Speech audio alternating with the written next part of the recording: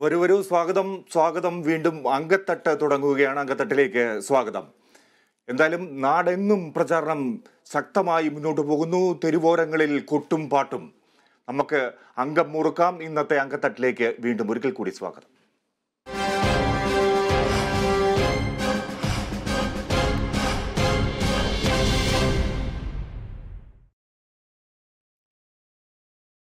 ആദ്യം വോട്ട് ചിത്രം. വോട്ട് ചിത്രം നിങ്ങൾക്കായി അവതരിപ്പിക്കുന്നത്. എല്ലാ ആഭരണങ്ങളും ഇപ്പോൾ പണിക്കൂലിയില്ലാതെ വാങ്ങാം. അൽ മുഗ്ദാദർ ജുവലേഴ്സ്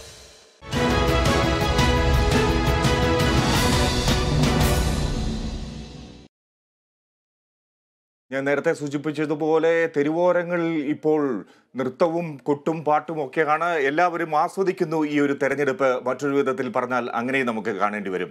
എന്തായാലും ഈ റോഡ് ഷോയാണ് എല്ലാവരെയും ലഹരി പിടിപ്പിക്കുന്നത്. പ്രത്യേകിച്ച് സ്ഥാനാർത്ഥികൾ പ്രചാരണ പത്രിക അല്ലെങ്കിൽ തെരഞ്ഞെടുപ്പ് നാമനിർദ്ദേശ പത്രിക സമർപ്പിക്കാൻ പോകുമ്പോൾ എല്ലാവരും വളരെ ആഘോഷത്തോടെയാണ് മുന്നോട്ട് പോകുന്നത്. എന്തായാലും പ്രധാനമായും കാണേണ്ടത് രാഹുൽ ഗാന്ധി നാമനിർദ്ദേശ പത്രിക സമർപ്പിക്കാൻ പോയതാണ്. ആനി രാജയും ഇന്ന് പത്രിക നൽകിയിരുന്നു. രാഹുൽ എങ്ങനെയായിരുന്നു തന്റെ നാമനിർദ്ദേശ പത്രികാ സമർപ്പണത്തിന് പോയത്? ആ റോഡ് ഷോ കണ്ടു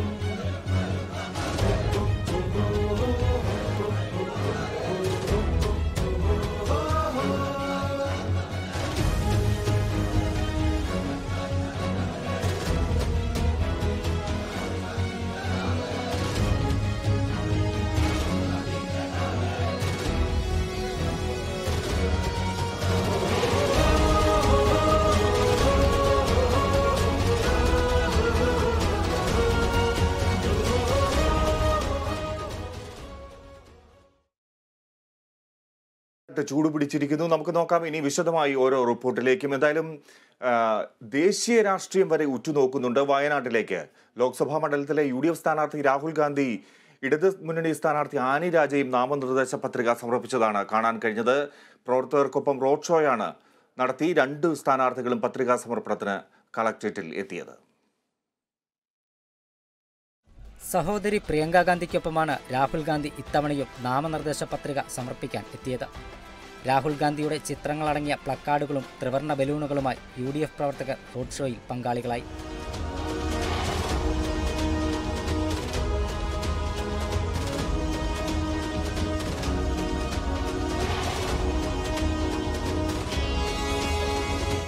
കെ പി സി സി പ്രസിഡന്റിന്റെ ചുമതല വഹിക്കുന്ന എം എം ഹസൻ പ്രതിപക്ഷ നേതാവ് V D Satheesan I C C general secretary K C Venugopal ഘടകകക്ഷി നേതാക്കൾ തുടങ്ങിയവർ രാഹുൽ ഗാന്ധിയെ റോഡ് ഷോയിൽ അനുഗമിച്ചു. വയനാട്ടിൽ എത്തിയതിൽ സന്തോഷമുണ്ടെന്നും വയനാട്ടിലെ ജനങ്ങളുടെ പോരാട്ടങ്ങൾക്ക് എന്നും മുന്നിലുണ്ടാവുമെന്നും റോഡ് ഷോയ്ക്ക് ശേഷം രാഹുൽ ഗാന്ധി പറഞ്ഞു. തുടർന്ന് വയനാട് കലക്ടറേറ്റിലെത്തി വരണാധികാരിയായ കലക്ടർ രേണുരാജു മുമ്പാകെ മൂന്ന് സെറ്റ് പത്രികയാണ് രാഹുൽ ഗാന്ധി നൽകിയത്.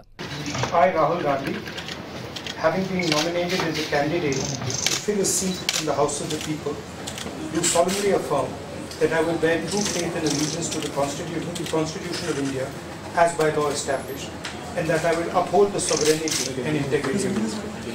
വയനാട്ടിലെ ഇടതുമുന്നണി സ്ഥാനാർത്ഥി ആനി രാജയും ഇന്ന് പത്രിക സമർപ്പിച്ചു. പ്രവർത്തകർക്കൊപ്പം പ്രകടനമായാണ് ആനി രാജ പത്രിക സമർപ്പിക്കാനായി എത്തിയത്. Mananthavady M L A O R Kelu മുൻ M L എമാരായ C K Saseendran E S Bijimol എന്നിവരും വിവിധ ഇടതുമുന്നണി നേതാക്കളും ആനി രാജയ്ക്കൊപ്പം പത്രിക സമർപ്പിക്കാനായി എത്തി. മൂന്ന് ജില്ലകളിലെ ഏഴ് നിയമസഭാ മണ്ഡലങ്ങൾ ഉൾപ്പെടുകയും രണ്ട് സംസ്ഥാനങ്ങളുമായി അതിർത്തി പങ്കിടുകയും ചെയ്യുന്ന മലയോര കർഷകന്റെ ഹൃദയഭൂമിയായ വയനാട്ടിൽ ദേശീയ രാഷ്ട്രീയത്തിൽ തോളോട് തോൾ ചേർന്ന് പ്രവർത്തിക്കുന്ന രണ്ടുപേർ നേർക്കുനേർ ഏറ്റുമുട്ടുമ്പോൾ വോട്ടർമാർ രാഹുലിനെ വീണ്ടും ഹൃദയത്തിലേറ്റുമോ? അതോ ആനിരാജ കിങ് മേക്കറാകുമോ എന്ന് ജൂൺ നാലിനറിയാം കേരള വിഷൻ ന്യൂസ് വയനാട്. അങ്ങനെ വയനാട് ആ ചോദ്യത്തിന്റെ ഉത്തരത്തിനായി ആകാംക്ഷയോടെ കാത്തിരിക്കുകയാണ്. നമുക്ക് മധ്യ കേരളത്തിലെയും അതുപോലെ തെക്കൻ കേരളത്തിലെയും കാര്യങ്ങൾ പരിശോധിക്കാം. അവിടെയും സ്ഥാനാർത്ഥികളിൽ പത്രികയുമായി എത്തി. പ്രമുഖ നേതാക്കൾക്കൊപ്പം എത്തിയാണ് സ്ഥാനാർത്ഥികൾ വരണാധികാരികൾക്ക് മുന്നിൽ പത്രിക നൽകിയത്. പതിനൊന്ന് മണിയോടെയായിരുന്നു എറണാകുളം ലോക്സഭാ മണ്ഡലം എൽ ഡി എഫ് സ്ഥാനാർത്ഥി കെ ജെ ഷൈൻ പത്രിക സമർപ്പിച്ചത്. മന്ത്രി പി രാജീവ് ഉൾപ്പെടെയുള്ള നേതാക്കൾക്കൊപ്പം എറണാകുളം കളക്ടറേറ്റിലെത്തിയാണ് പത്രിക സമർപ്പിച്ചത്. അടിത്തട്ടിൽ ചെയ്ത പ്രവർത്തനം ഇത്തവണ എൽ ഡി എഫിന് ഗുണം ചെയ്യുമെന്ന് സ്ഥാനാർത്ഥി പ്രതികരിച്ചു. ഈ ചെറിയ തട്ടിൽ പത്തിരുപത്തഞ്ച് വർഷക്കാലമായി ജനങ്ങളുമായി ഇടപെട്ട് പ്രവർത്തിച്ചപ്പോൾ കിട്ടിയ എല്ലായിടത്തും ജനങ്ങളാണുള്ളത്. അപ്പോൾ അവരിൽ നിന്ന് കൊണ്ടും സ്നേഹപൂർവമായ ശാസനയും നിർദ്ദേശങ്ങളും ഒക്കെ തന്ന് എനിക്ക് തന്നിട്ടുള്ള ഈ പൊതുപ്രവർത്തനത്തിന് വേണ്ടി സാമൂഹ്യ പ്രവർത്തനത്തിന് വേണ്ടി എനിക്ക് എന്റെ ചെറിയ മേഖലയിലുള്ള ജനങ്ങൾ തന്നിട്ടുള്ള വലിയ ഒരു അടിയുറച്ച ഒരു ഉറപ്പുണ്ട് ഒരു ബേസ് ഉണ്ട് ആ ബേസിൽ നിന്നുകൊണ്ട് എവിടെയും പോകാൻ കഴിയും ഏത് പ്രവർത്തനവും ഏറ്റെടുക്കാൻ കഴിയും എന്നുള്ളൊരു ആത്മവിശ്വാസം എന്റെ ജനങ്ങൾ തന്നിട്ടുണ്ട്. ചാലക്കുടിയിലെ യു ഡി എഫ് സ്ഥാനാർത്ഥി ബെന്നി ബഹനാനും എറണാകുളം കളക്ടറേറ്റിൽ നാമനിർദ്ദേശ പത്രിക സമർപ്പിച്ചു. മാവേലിക്കരയിൽ എൽ ഡി എഫ് സ്ഥാനാർത്ഥി സി എ അരുൺകുമാർ പത്രിക സമർപ്പിച്ചു. മന്ത്രിമാരായ Saji Cherian K N Balagopal P Prasad എന്നിവർക്കൊപ്പം എത്തിയാണ് അരുൺകുമാർ പത്രിക നൽകിയത്. പത്തനംതിട്ടയിലെ യു ഡി എഫ് സ്ഥാനാർത്ഥി ആന്റോ ആന്റണിയും എൻ ഡി എ സ്ഥാനാർത്ഥി അനിൽ കെ ആന്റണിയും പത്രിക സമർപ്പിച്ചു. മൂന്ന് സെറ്റ് പത്രികകൾ വീതമാണ് രണ്ട് സ്ഥാനാർത്ഥികളും ജില്ലാ കളക്ടർ എസ് പ്രേംകൃഷ്ണന് സമർപ്പിച്ചത്. I are being as a candidate to fill a seat in the House of the People. Do swear in the name of God that I will bear true faith and allegiance to the Constitution of India as by law established and that I will uphold the sovereignty and integrity of India. Alappuzha N D A സ്ഥാനാർത്ഥി ശോഭ സുരേന്ദ്രനും കൊല്ലത്തെ N D A സ്ഥാനാർത്ഥി കൃഷ്ണകുമാറും പത്രിക സമർപ്പിച്ചു കുടുംബത്തോടൊപ്പമാണ് കൃഷ്ണകുമാർ എത്തിയത്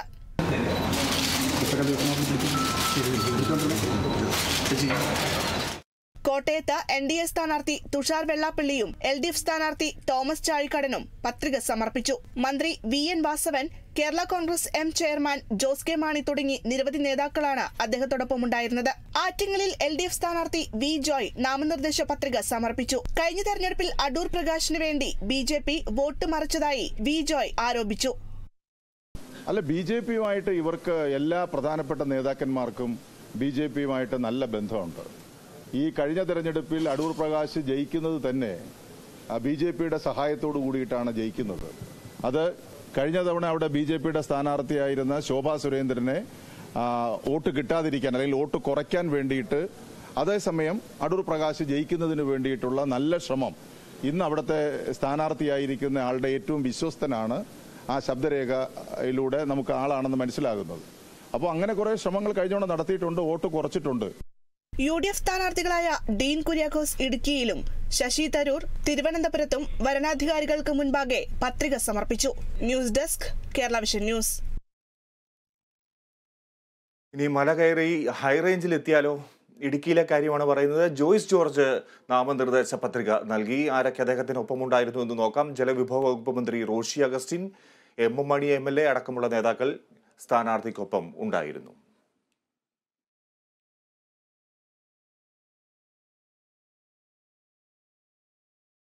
നാമനിർദ്ദേശ പത്രികാ സമർപ്പണം അങ്ങനെ തുടരുന്നു. മലബാറിലേക്ക് നോക്കാം. വിവിധ മുന്നണി സ്ഥാനാർത്ഥികൾ വരണാധികാരികൾക്ക് മുന്നിൽ പത്രിക നൽകി. ലോക്സഭാ തെരഞ്ഞെടുപ്പിന് ദിവസങ്ങൾ മാത്രം ബാക്കി നിൽക്കെ മലബാറിൽ നാമനിർദ്ദേശ പത്രികാ സമർപ്പണം തുടരുകയാണ്. കാസർഗോഡ് യു ഡി എഫ് സ്ഥാനാർത്ഥി രാജ്മോഹൻ ഉണ്ണിത്താനും എൽ ഡി എഫ് സ്ഥാനാർത്ഥി എം വി ബാലകൃഷ്ണനും നാമനിർദ്ദേശ പത്രിക സമർപ്പിച്ചു. കണ്ണൂരിൽ എൽ ഡി എഫ് സ്ഥാനാർത്ഥി എം വി ജയരാജനും എൻ ഡി എ സ്ഥാനാർത്ഥി സി രഘുനാഥും യു ഡി എഫ് സ്ഥാനാർത്ഥി കെ സുധാകരനും നാമനിർദ്ദേശ പത്രിക സമർപ്പിച്ചു. ജില്ലാ വരണാധികാരി അരുൺ കെ വിജയന് മുൻപാകെയാണ് നാമനിർദ്ദേശ പത്രിക സമർപ്പിച്ചത്.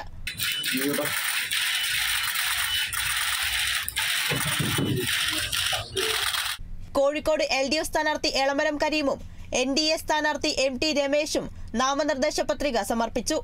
ഇടതുമുന്നണി സ്ഥാനാർത്ഥി എളമരം കരീമിനൊപ്പം മന്ത്രി Muhammad Riyas Sachin Dev M L A എന്നിവർ നാമനിർദ്ദേശ പത്രികാ സമർപ്പണത്തിനെത്തി. വടകരയിൽ എൽ ഡി എഫ് സ്ഥാനാർത്ഥി കെ കെ ശൈലജയും എൻ ഡി എ സ്ഥാനാർത്ഥി പ്രഫുൽ കൃഷ്ണയും നാമനിർദ്ദേശ പത്രിക സമർപ്പിച്ചു. ജനങ്ങൾ എൻ ഡി എക്കൊപ്പം നിൽക്കുമെന്ന് പ്രഫുൽ കൃഷ്ണ പറഞ്ഞു. ശരിക്കും വടകരയെ രൂപപ്പെടുത്തിയെടുത്താൽ ഇത്രയും സാധ്യതകളുള്ള ഒരു മണ്ഡലം കേരളത്തിൽ മറ്റൊന്നില്ല. അതുകൊണ്ട് വടകരയെ സംബന്ധിച്ചിടത്തോളം ഞങ്ങൾക്ക് നല്ല കൃത്യമായ കാഴ്ചപ്പാടുണ്ട്. വടകര എങ്ങനെ ആയിത്തീരണമെന്നുണ്ട്. അതാണ് വടകരയിലെ വോട്ടർമാരുടെ മുന്നിൽ ഞങ്ങൾ മുന്നോട്ട് വയ്ക്കുന്നത് ആ മോഡിഫൈഡ് വടകരയ്ക്ക് വേണ്ടി വടകര പാർലമെന്റിലെ മുഴുവൻ ജനങ്ങളും ഞങ്ങളുടെ കൂടെ നിൽക്കും. ആ ഒരു പ്രതികരണമാണ് എല്ലാ സ്ഥലങ്ങളിൽ നിന്നും കണ്ടുകൊണ്ടിരിക്കുന്നത്. പൊന്നാനിയിൽ എൽ ഡി എഫ് സ്ഥാനാർത്ഥി K S Hamza U D F സ്ഥാനാർത്ഥി അബ്ദുൾ സമദ് സമദാനി എന്നിവർ നാമനിർദ്ദേശ പത്രിക നൽകി. പിതാവ് മൗലാന അബ്ദുൾ ഹമീദ് ഹൈദരിയുടെ ഖബറിടത്തിലെത്തി പ്രാർത്ഥിച്ച ശേഷമാണ് അബ്ദുൾ സമദ് സമദാനി പത്രികാ സമർപ്പണത്തിനെത്തിയത് മലപ്പുറത്ത് യു ഡി എഫ് സ്ഥാനാർത്ഥി E T Muhammad Basheer N D A സ്ഥാനാർത്ഥി അഡ്വക്കേറ്റ് നിവേദിത എന്നിവർ നാമനിർദ്ദേശ പത്രിക സമർപ്പിച്ചു. എൽ ഡി എഫ് സ്ഥാനാർത്ഥി വി എസ് സുനിൽകുമാർ തൃശൂരിൽ പത്രിക സമർപ്പിച്ചു. വരണാധികാരിയായ ജില്ലാ കളക്ടർ വി ആർ കൃഷ്ണതേജയ്ക്കാണ് നാമനിർദ്ദേശ പത്രിക കൈമാറിയത്. മന്ത്രി കെ രാജനൊപ്പമെത്തിയാണ് വി എസ് സുനിൽകുമാർ പത്രിക സമർപ്പിച്ചത്. പാലക്കാട് യു ഡി എഫ് സ്ഥാനാർത്ഥി വി കെ ശ്രീകണ്ഠനും ആലത്തൂരിൽ എൽ ഡി എഫ് സ്ഥാനാർത്ഥി കെ രാധാകൃഷ്ണനും പത്രിക സമർപ്പിച്ചു. മന്ത്രിമാരായ V K Krishnankutty M B Rajesh എന്നിവരോടൊപ്പമെത്തിയാണ് K Radhakrishnan പത്രിക സമർപ്പിച്ചത്. News desk Kerala vision news. തലസ്ഥാനത്തേക്ക് പോകാം. തിരുവനന്തപുരത്തേക്ക്. തിരുവനന്തപുരത്ത് ശശി തരൂരിന് എൽ ഡി എഫ് സ്ഥാനാർത്ഥി പന്ന്യൻ രവീന്ദ്രനെ പേടിയില്ലാത്തതുപോലെ തോന്നുന്നു. അദ്ദേഹത്തിന്റെ ചില പ്രസ്താവനകൾ വാക്കുകൾ ഇതൊക്കെയാണ് സൂചിപ്പിക്കുന്നത്. യു ഡി എഫും ബി ജെ പിയും തമ്മിലാണ് മത്സരം എന്നാണ് ശശി തരൂർ പറയുന്നത്. വിജയത്തിൽ തർക്കമില്ലെങ്കിലും മൂന്നാമത്തെ സ്ഥാനാർത്ഥി ഉണ്ടെന്ന കാര്യം മറക്കുന്നില്ല എന്ന് അദ്ദേഹം പറയുന്നുണ്ട്. തെരഞ്ഞെടുപ്പിന് ഇരുപത്തിനാല് ദിവസമുണ്ടെന്നും നന്നായി തന്നെ ബൂത്ത് തലത്തിൽ പ്രവർത്തനം നടക്കുമെന്നും നാമനിർദ്ദേശ പത്രിക സമർപ്പിച്ച ശേഷം ശശി തരൂർ പ്രതികരിച്ചു. ഞങ്ങൾക്ക് വിജയത്തെക്കുറിച്ച് സംശയമില്ല മറ്റേ തർക്കം രണ്ടാം സ്ഥാനത്തിന് വേണ്ടിയാണ്. പക്ഷെ അതിൽ ശരിക്കും ഞാൻ കാണുന്നത് ഇപ്പോൾ കൂടുതൽ നമ്മൾ ബി ജെ പി എതിരിക്കാനാണ് നമ്മളുടെ ആവശ്യം തിരുവനന്തപുരത്ത്. നോക്കൂ മൂന്നാമത്തെ സ്ഥാനാർത്ഥിയുമുണ്ട്. ഞാൻ ഒരിക്കലും ത്രികോണ മത്സരം അല്ല എന്ന് പറയില്ല. പക്ഷേ രണ്ടായിരത്തി പത്തൊമ്പത് നമ്മൾ കണ്ടുപോലെയും വേറെ രീതിയിൽ രണ്ടായിരത്തി പതിനാല് കണ്ട പോലെയും രണ്ട് പാർട്ടികളാണ് കുറച്ചും കൂടി കൂടുതൽ മത്സരത്തിൽ മുന്നോട്ട് എന്ന് കാണുന്നു. അതിൽ ഞങ്ങൾ തന്നെ മുന്നോ മുന്നോട്ട് എന്നതിൽ സംശയമില്ല. പക്ഷേ രണ്ടാമത്തെ സ്ഥാനത്തിൽ എല്ലാവരുടെയും കാണുന്നത് ബി ജെ പി തന്നെയാണ്. അപ്പോൾ ഞങ്ങൾ അവരാണ് പ്രത്യേകിച്ച് നമുക്ക് ശ്രദ്ധ വെക്കേണ്ടത്. ഇരുപത്തിനാല് ദിവസമുണ്ട് നിങ്ങൾ കാണും. നിങ്ങൾ കണ്ടിട്ട് തന്നെ റിപ്പോർട്ട് ചെയ്തോളൂ എത്ര നന്നായിട്ട് നമ്മളുടെ ബൂത്തുകൾ പ്രവർത്തിക്കുന്നത് തെരഞ്ഞെടുപ്പ് പ്രചാരണത്തിനൊപ്പം അല്ലെങ്കിൽ വോട്ടെടുപ്പിന്റെ ദിവസമൊക്കെ ഉയർന്നു വരുന്ന ചില വാക്കുകളുണ്ട്. കള്ള വോട്ട് അതുപോലെ വോട്ടർ പട്ടികയിലെ ക്രമക്കേട് തുടങ്ങിയവ. എന്തായാലും ആറ്റിങ്ങൽ പാർലമെന്റ് മണ്ഡലത്തിൽ കള്ള വോട്ട് ആരോപണം ഉന്നയിച്ചിരിക്കുകയാണ് മണ്ഡലത്തിലെ യു ഡി എഫ് സ്ഥാനാർത്ഥി അടൂർ പ്രകാശ്. ഇലക്ഷൻ കമ്മീഷൻ അന്തിമമായി പ്രസിദ്ധീകരിച്ച വോട്ടർ പട്ടികയിലെ കണക്കുകൾ വ്യാജമാണെന്നും ഒരു വോട്ടർക്ക് ഒന്നിൽ കൂടുതൽ വോട്ടുകൾ മണ്ഡലത്തിലുണ്ടെന്നും അടൂർ പ്രകാശ് പറയുന്നു. ആറ്റിങ്ങൽ ലോക്സഭാ മണ്ഡലത്തിലെ ഇരട്ട വോട്ടുകളെ സംബന്ധിച്ച് അടൂർ പ്രകാശ് പരാതി ഉന്നയിക്കുന്നത് ഇതാദ്യമല്ല. കഴിഞ്ഞ തെരഞ്ഞെടുപ്പിന് മുമ്പും ഇതേ പരാതി ഉന്നയിച്ചിരുന്നു. രണ്ടായിരത്തി പത്തൊൻപതിൽ പരാതി ഉയർത്തിയിട്ടും പരിഹാരമുണ്ടായില്ലെന്ന് അടൂർ പ്രകാശ് പറയുന്നു. നിലവിൽ ഇലക്ഷൻ കമ്മീഷൻ അന്തിമമായി പ്രസിദ്ധീകരിച്ച വോട്ടർ പട്ടിക പ്രകാരം മുന്നൂറ്റി എൺപത്തി ഒൻപത് ഇരട്ട വോട്ടുകളാണ് മണ്ഡലത്തിലുള്ളത്. എന്നാൽ ഈ കണക്ക് വ്യാജമാണെന്നാണ് അടൂർ പ്രകാശ് വാദിക്കുന്നത്. ഈ തെരഞ്ഞെടുപ്പുമായി ബന്ധപ്പെട്ടുകൊണ്ട് ഇവിടെ പ്രസിദ്ധീകരിച്ചിട്ടുള്ള വോട്ടർ പട്ടിക. ആ വോട്ടർ പട്ടികയിൽ വളരെയധികം ക്രമക്കേടുകൾ കണ്ടെത്തുവാൻ കഴിഞ്ഞിട്ടുണ്ട്. മൊത്തത്തിൽ പതിമൂന്ന് ലക്ഷത്തി അറുപത്തി ആറായിരത്തി നാൽപ്പത്തി ഒമ്പത് വോട്ടർമാരാണ് ആറ്റിങ്ങൽ പാർലമെന്റ് നിയോജകമണ്ഡലത്തിലുള്ളത് അതിൽ തന്നെയാണ് ഏറ്റവും അവസാനമായി പറഞ്ഞിട്ടുള്ള വോട്ടർ പട്ടികയിലെ വ്യത്യാസമനുസരിച്ച് ഒരു ലക്ഷത്തി അറുപത്തി നാലായിരത്തി ആറ് വോട്ടുകൾ ഇരട്ടിപ്പായി വന്നിട്ടുണ്ട്. അതായത് ഒരു വോട്ടർക്ക് തന്നെ അതേ മണ്ഡലത്തിലോ അല്ലെങ്കിൽ സമീപ മണ്ഡലത്തിലോ ഓരോ ബൂത്തിലെ ബൂത്തിലോ വ്യത്യസ്തങ്ങളായ ബൂത്തുകളിലോ ആയി ഒന്നിൽ കൂടുതൽ വോട്ടുകൾ ഉള്ള ഉള്ളതായി കണ്ടെത്താൻ കഴിഞ്ഞിരിക്കുകയാണ്. മണ്ഡലത്തിലെ പട്ടികയുടെ എട്ട് പോയിന്റ് മൂന്ന് രണ്ട് ശതമാനം ഇരട്ട വോട്ടുകളാണ് കരട് വോട്ടർ പട്ടികയാണ് നിലവിൽ പ്രസിദ്ധീകരിച്ചിട്ടുള്ളത്. അന്തിമ വോട്ടർ പട്ടിക നാളെ പുറത്തിറക്കുമ്പോൾ ഇരട്ട വോട്ടുകളുടെ ഈ എണ്ണം വർദ്ധിക്കുമെന്നും അടൂർ പ്രകാശ് ചൂണ്ടിക്കാട്ടുന്നു. അതേസമയം അടൂർ പ്രകാശിന്റെ കള്ളവോട്ട് ആരോപണം മുൻകൂർ ജാമ്യമെടുപ്പാണെന്നും പുതിയ വോട്ടർമാരുടെ വിവരം വെബ്സൈറ്റിൽ ലഭ്യമാണെന്നും ആരും കള്ളവോട്ട് ചെയ്യാൻ പോകുന്നില്ലെന്നുമാണ് മണ്ഡലത്തിലെ എൽ ഡി എഫ് സ്ഥാനാർത്ഥി V Joy വിമർശിച്ചത്. Kerala Vision News Thiruvananthapuram. കഴിഞ്ഞ ദിവസം ഒരു സ്റ്റേഡിയം പദ്ധതി പ്രഖ്യാപിച്ച് മന്ത്രി മുഹമ്മദ് റിയാസ് വെട്ടിലായിരിക്കുന്നു. തെരഞ്ഞെടുപ്പ് പെരുമാറ്റച്ചട്ട ലംഘനത്തിന് പരാതി നൽകുകയും ചെയ്തു യു ഡി എഫ് എന്നാൽ അതിനുള്ള ഒരു പ്രതികരണവും വിശദീകരണവും ഒക്കെയായി അദ്ദേഹം ഇപ്പോൾ എത്തുകയാണ് കേരള വിഷൻ ന്യൂസിന് മുന്നിൽ. സങ്കുചിത മനസ്സാണ് എന്ന് പറയുന്നു. ഈ പരാതി നൽകിയവർക്ക് കോഴിക്കോട് സ്റ്റേഡിയം പദ്ധതി നവംബറിൽ കായിക മന്ത്രി വി അബ്ദുറഹ്മാൻ പ്രഖ്യാപിച്ച കാര്യമാണ്. കോഴിക്കോട്ടേക്ക് വരുന്ന പദ്ധതി മുടക്കാൻ എം തന്നെ നേതൃത്വം നൽകുകയാണെന്നും മുഹമ്മദ് റിയാസ് കേരള വിഷൻ ന്യൂസിനോട് പറഞ്ഞു. കോഴിക്കോട് ലോക്സഭാ മണ്ഡലത്തിൽ ഇപ്പോൾ ഏറ്റവും കൂടുതൽ രാഷ്ട്രീയ ചർച്ചാ വിഷയമാകുന്നത് മന്ത്രി പി എം മുഹമ്മദ് റിയാസും എൽ ഡി എഫ് സ്ഥാനാർത്ഥി എളമരം കരീമും പെരുമാറ്റച്ചട്ടം ലംഘിച്ചു എന്ന യു ഡി എഫിന്റെ ആരോപണമാണ്. അത് വിശദീകരിക്കാൻ മന്ത്രി പി എ മുഹമ്മദ് റിയാസ് തന്നെ ഇപ്പോൾ കേരള വിഷൻ ന്യൂസിനൊപ്പം ചേരുന്നു. മിനിസ്റ്റർ പിന്നെ എന്തായാലും ഇപ്പോൾ പുതിയൊരു ആരോപണത്തിന്റെ ഒരു പശ്ചാത്തലത്തിലാണ്. എങ്ങനെയാണ് ആ ഒരു ആരോപണത്തെ കാണുന്നത്? തെരഞ്ഞെടുപ്പ് പെരുമാറ്റച്ചട്ടം ലംഘിച്ചു യു ഡി എഫ് എം പിക്ക് പതിനഞ്ച് കൊല്ലം നടത്തിയ വികസനത്തെക്കുറിച്ചൊന്നും പറയാനില്ല. എൽ ഡി എഫ് സർക്കാർ കേരളത്തിൽ ഭരണം നടത്തിയ ഘട്ടങ്ങളിലൊക്കെ തന്നെ സംസ്ഥാനത്താകെ ഒട്ടേറെ വികസന പ്രവർത്തനങ്ങൾ നടത്തിയിട്ടുണ്ട്. കോഴിക്കോട് പാർലമെന്റ് മണ്ഡലത്തിന്റെ ഭാഗമായുള്ള പ്രദേശങ്ങളിൽ ഒട്ടേറെ വികസന പ്രവർത്തനം നടത്തി. ഇപ്പോൾ കായിക പ്രേമികളുടെ യോഗത്തിൽ അവരുടെ ദീർഘകാലത്തെ ആഗ്രഹമായ സ്റ്റേഡിയം നേരത്തെ തന്നെ പ്രഖ്യാപിച്ച വളരെ നേരത്തെ പ്രഖ്യാപിച്ചു. ആ പ്രഖ്യാപിച്ച കാര്യം പറയുന്നു. അതിലിപ്പോൾ വേറെന്താ തെറ്റുള്ളത്? ഇവിടുത്തെ സിറ്റി ഇമ്പ്രൂവ്മെന്റ് ഭാഗമായിട്ടുള്ള റോഡുകളുടെ കാര്യം പറയുന്നു. എൻ എച്ച് അറുപത്താറിന്റെ വികാസത്തിന് വേണ്ടി സംസ്ഥാന സർക്കാർ നടത്തിയ ഇടപെടൽ പറയുന്നു. അപ്പം അതിലിപ്പോൾ ഒന്നും പറയാനില്ലാത്തവർക്ക് വികസനത്തെക്കുറിച്ച് ഒന്നും പറയാനില്ലാത്തവർക്ക് ബേജാറുണ്ടാവും അവർ ബേജാറായി നിന്നോട്ടെ. കോഴിക്കോടിന്റെ ദീർഘകാലത്തെ ആഗ്രഹമാണ് ഒരു സ്റ്റേഡിയം.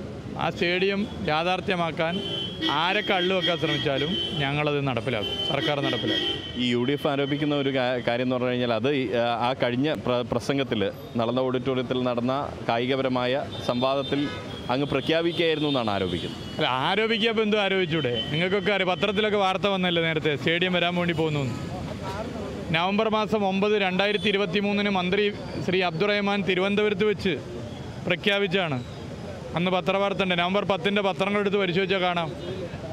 ആരോപണം ഇപ്പോൾ എന്തോ ആരോപണം? എന്തോ ഉന്നയിക്കാമല്ലോ യു യു ഡി എഫ് ഉന്നയിക്കുന്ന ആരോപണം മുഴുവൻ വിശ്വസിക്കുകയാണെങ്കിൽ എൽ ഡി എഫിന് കേരളത്തിൽ കെട്ടിവെച്ച പൈസ എവിടെയും കിട്ടും. അപ്പോൾ അതവരുന്നയിക്കും. അതൊക്കെ ജനങ്ങൾക്കറിയാം. സ്പോർട്സ് പ്രേമികൾ കടുത്ത പ്രതിഷേധത്തിലാണ്. കോഴിക്കോട്ടേക്ക് വരുന്ന ഒരു പദ്ധതിയെ മുടക്കാൻ വേണ്ടി ഒരു എം പി എന്നെ നേതൃത്വം കൊടുക്കുന്നു എന്നുള്ളതിൽ കടുത്ത പ്രതിഷേധമുണ്ട്. ഇതിൽ എല്ലാവരും ഒന്നിക്കേണ്ട വിഷയമല്ലേ? എല്ലാവരും ഒന്നിച്ച് സന്തോഷിക്കേണ്ട വിഷയമാണ് കോഴിക്കോടിന്റെ ഒരു സ്റ്റേഡിയം എന്നുള്ളത്. അതിനെന്തിനത്ര ബേജാറ്? ഒരു സ്റ്റേഡിയം കോഴിക്കോട്ട് വരുന്നതിന് ദുഃഖിക്കുകയാണ് ചെയ്യേണ്ടത്. സന്തോഷിക്കുകയല്ലേ ചെയ്യേണ്ടത്? അത് നേരത്തെ പ്രഖ്യാപിച്ച ഒരു സ്റ്റേഡിയം. അപ്പോൾ സങ്കുചിത മനസ്സോടുകൂടി രാഷ്ട്രീയ മനസ്സോടുകൂടി കാര്യങ്ങൾ കാണരുത്. അതാണ് ഇതിൽ പറയാനുള്ളത്. പൊതുവായിട്ട് കേരളത്തിന്റെ പൊതുവായിട്ട് തീർച്ചയായിട്ടും അല്ല ഇതും കൂടി മാത്രമേ ഉള്ളൂ. കേരളത്തിന്റെ പൊതുവായിട്ട് എൽ ഡി എഫിന്റെ പ്രതീക്ഷകൾ എന്തൊക്കെയാണ്? എൽ ഡി എഫ് തൂത്തുവാരിത്തവണ രണ്ടായിരത്തി നാലിൽ ജനങ്ങൾ എൽ ഡി എഫിൽ അർപ്പിച്ച വിശ്വാസമുണ്ട്. ബി ജെ പി ഇതര സർക്കാർ സൃഷ്ടിക്കാൻ ബി ജെ പിക്കെതിരെ ശക്തമായ രാഷ്ട്രീയം പറയാൻ എൽ ഡി എഫിന്റെ അംഗബലം വർദ്ധിക്കണം. ആ പൊളിറ്റിക്സാണ് ഇപ്പോൾ രണ്ടായിരത്തി നാല് സമയം രണ്ടായിരത്തി ഇരുപത്തിനാല് ഓക്കെ. എന്തായാലും തെരഞ്ഞെടുപ്പ് തോൽവി മുന്നിൽ കണ്ടുകൊണ്ടുള്ള ബേജാറ് കാരണമാണ് യു ഡി എഫ് ഇത്തരം ആരോപണങ്ങൾ ഉന്നയിക്കുന്നത് എന്നാണ് മന്ത്രി മറുപടി നൽകുന്നത്. ഒപ്പം തന്നെ കേരളത്തിൽ ഇത്തവണ എൽ ഡി എഫ് തൂത്തുവാരുമെന്നൊരു പ്രതീക്ഷയും അദ്ദേഹം പങ്കുവയ്ക്കുന്നു.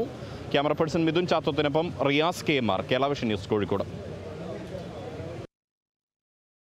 ഈ ചാണ്ടി ഉമ്മൻ ബി ജെ പിയിലേക്ക് പോകുമോ? തിരികെ വരാം ഇടവേളയ്ക്ക് ശേഷം.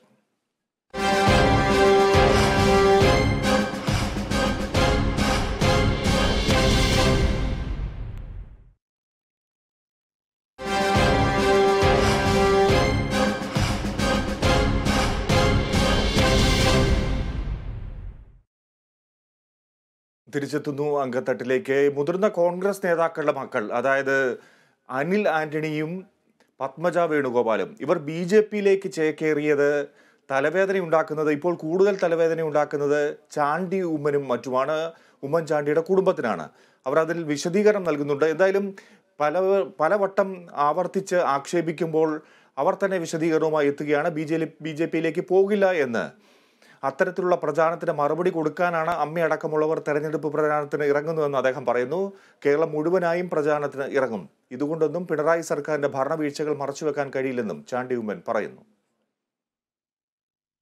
പലതവണ അതിന്റെ മറുപടി പറഞ്ഞു കഴിഞ്ഞു. ഇതിന് ചോദ്യത്തിന് മറുപടി ഇല്ല. കാരണം ഇരുപത്തി നാല് വർഷമായി ഞാൻ രാഷ്ട്രീയ പ്രവർത്തനം നടത്തിയ ഒരാളാണ് ഈ ഇരുപത്തിനാല് വർഷത്തിൽ മിക്കവാറും സമയത്ത് എനിക്ക് പോസ്റ്റ് ഉണ്ടായിട്ടില്ല. ഞാനൊന്നും സമ്പാദിച്ചിട്ടുമില്ല. അപ്പം ഈ രണ്ടിന് വേണ്ടി ആയിരിക്കുമല്ലോ ഇപ്പോൾ പോകുന്നവർ പോകാൻ ഉദ്ദേശിക്കുന്നത്. എന്തായാലും ഞാൻ ഉദ്ദേശിക്കുന്നില്ല. എന്നെ സംബന്ധിച്ച് എന്റെ പ്രസ്ഥാനമാണ് എന്റെ ജീവൻ. ഞാനത് പലതവണ പറഞ്ഞു. ഞാൻ രാഷ്ട്രീയത്തിലേക്ക് കടന്നു വരുന്ന രണ്ട് വ്യക്തികളെ കണ്ടിട്ടാണ്. ഒന്ന് ഇന്ത്യയ്ക്ക് വേണ്ടി ജീവിതം ത്യജിച്ച രാജീവ് ഗാന്ധി എന്ന് പറയുന്ന മഹാമനുഷ്യൻ പതിനെട്ടാം വയസ്സിൽ വോട്ട് ചെയ്യാൻ അവകാശം കൊടുത്ത നേതാവ് രണ്ട് എന്റെ പിതാവ്.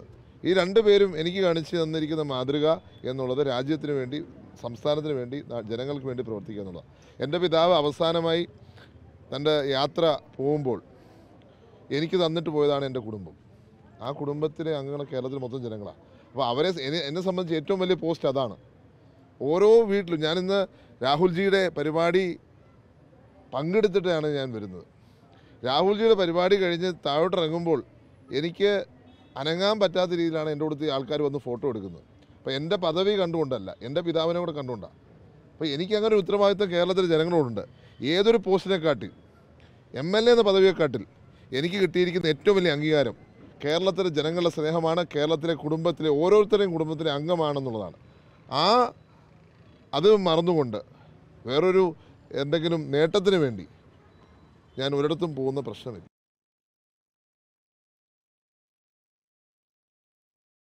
എന്തായാലും ഇതിൽ കൂടുതൽ എങ്ങനെ വിശദീകരിക്കാനാണ്? ഇനി ഈ ചോദ്യം ചാണ്ടി ഉമ്മൻ ബി ജെ പിയിലേക്ക് പോകുമോ എന്നുള്ളൊരു ചോദ്യം ആരും ഒരു മാധ്യമ പ്രവർത്തകരും ചോദിച്ചു പോകരുത് അദ്ദേഹത്തിന് ദേഷ്യം വരും. നമുക്ക് ഇനി പിണറായി വിജയനെ കേൾക്കാം കാണാം. വന്യജീവി ആക്രമണത്തിൽ ബി ജെ പിയെയും കോൺഗ്രസിനെയും വിമർശിച്ച മുഖ്യമന്ത്രി പിണറായി വിജയൻ. പ്രശ്നപരിഹാരത്തിനായി കേന്ദ്ര സർക്കാർ കൂടി ഇടപെടണം. സംസ്ഥാനം ഈ വിഷയങ്ങൾ ഉന്നയിച്ച് പ്രത്യേക പാക്കേജ് സമർപ്പിച്ചിരുന്നെങ്കിലും പണം അനുവദിക്കാതെ നിഷ്കരണം തള്ളിയെന്നും മുഖ്യമന്ത്രി കുറ്റപ്പെടുത്തുന്നു. കോൺഗ്രസിന്റെ കാലത്തെ നിയമങ്ങളാണ് പ്രശ്നം വഷളാക്കിയതെന്നും മുഖ്യമന്ത്രി ഇടുക്കിയിൽ പറഞ്ഞു. എൽ ഡി എഫ് സ്ഥാനാർത്ഥി ജോയ്സ് ജോർജിന്റെ പ്രചാരണ യോഗത്തിൽ സംസാരിക്കുകയായിരുന്നു പിണറായി വിജയൻ. ഈ വന്യജീവി സംഘർഷത്തെക്കുറിച്ച് എല്ലാവരും ഉത്കണ്ഠപ്പെടാറുണ്ടല്ലോ. നമുക്ക് സാധാരണഗതിയിൽ ഒരു പരിഹാരം വേണമല്ലോ പരിഹാരത്തിന് കേന്ദ്ര ഗവൺമെന്റ് കൂടി സഹായിക്കണ്ടേ? സംസ്ഥാനം ഈ പ്രശ്നങ്ങളെല്ലാം ഉന്നയിച്ചുകൊണ്ട് ഇതിനു വേണ്ടി ഒരു പ്രത്യേക പാക്കേജ് അനുമതിക്കായി കേന്ദ്രത്തിലായിരുന്നു എന്ന് പറഞ്ഞാൽ പൈസ വേണം. നിഷ്കരണമാണ് നൽകിയത്. ലോകത്ത് പല രാഷ്ട്രങ്ങളിലും വന്യജീവികളില്ല? ആ വന്യജീവികളെല്ലാം ഇവിടുത്തെ പോലെ സംരക്ഷിച്ചു നിർത്തുകയാണ് എന്താ നമുക്ക് മാത്രം ഒരു പ്രത്യേക സംരക്ഷണ രീതി? ഇതെപ്പോ വന്നതാ? ഇതിന്റെ ഉത്തരവാദി കോൺഗ്രസ് അല്ലേ ആയിരത്തി തൊള്ളായിരത്തി എഴുപത്തിരണ്ടിലല്ലേ? ഈ പറയുന്ന നിയമം കൊണ്ടുവരുന്നത്? ഇന്ദിരാഗാന്ധിയുടെ കാലം? പിന്നെ അത് കൂടുതൽ ശക്തിപ്പെടുത്തിയല്ലോ. ആ ശക്തിപ്പെടുത്തുന്നതിന് കഴിവുകളെ നേരിടേണ്ടത് എങ്ങനെ? എന്ന് പറയുന്നത് അതിനെ ഒരു ശക്തിപ്പെടുത്തും. അതിന്റെ പ്രോട്ടോകോൾ ആനയുടെ കാര്യത്തിന് വേറെ പ്രോട്ടോകോൾ ചുരുക്കത്തിൽ തൊടാൻ പറ്റില്ല.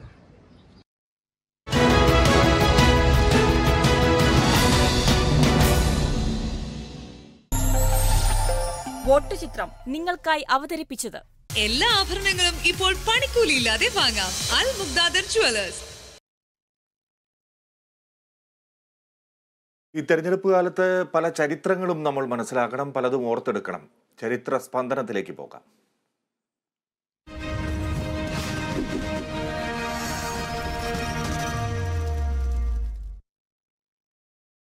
വിമോചന സമരവും തുടർന്നുണ്ടായ സർക്കാരിന്റെ പിരിച്ചുവിടലും കേരള രാഷ്ട്രീയത്തെ ഇളക്കിമറിച്ചതിനു ശേഷമാണ് മൂന്നാം ലോക്സഭയിലേക്ക് തെരഞ്ഞെടുപ്പ് നടക്കുന്നത്.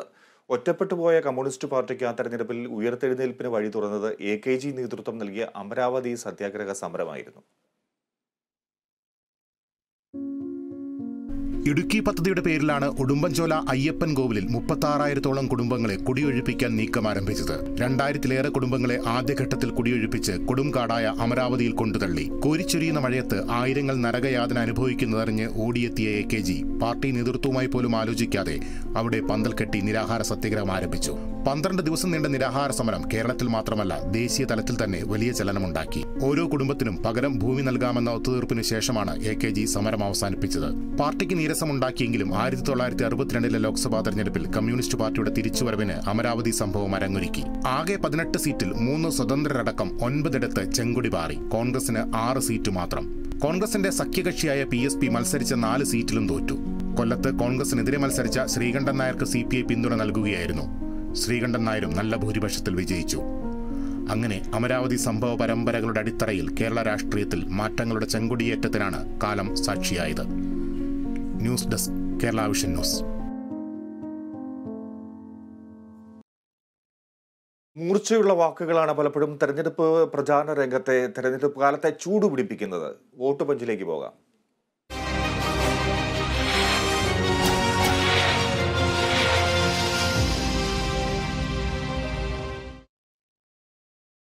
രാജ്മോഹൻ ഉണ്ണിത്താൻ എന്തു പറഞ്ഞാലും അത് ഏത് സാഹചര്യത്തിൽ പറഞ്ഞാലും അതൊരു പഞ്ചാകും. കാസർഗോഡ് നാമനിർദ്ദേശ പത്രിക സമർപ്പിക്കാനുള്ള ടോക്കണിന്റെ പേരിലാണ് തർക്കമുണ്ടായത്. വരണാധികാരിക്കും പോലീസിനുമെതിരെ തെരഞ്ഞെടുപ്പ് കമ്മീഷന് പരാതി നൽകുമെന്ന് രാജ്മോഹൻ ഉണ്ണിത്താൻ.